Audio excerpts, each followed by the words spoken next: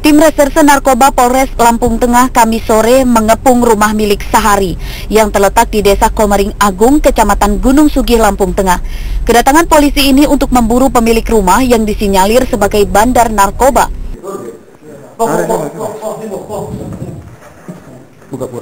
Polisi yang melakukan penggeledahan berhasil menemukan dua bungkus sabu-sabu yang disembunyikan pelaku di dalam bodi lampu bohlam emergency di ruang tengah.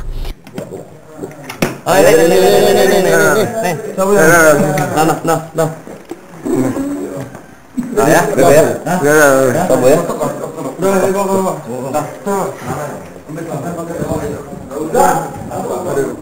Polisi yang berhasil menemukan barang bukti kemudian menggelandang pelakunya ke kantor polisi.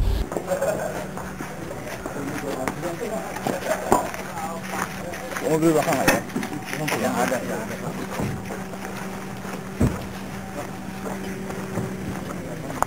Kami dapat informasi dari masyarakat bahwa di daerah Komering Agung ini banyak transaksi narkoba.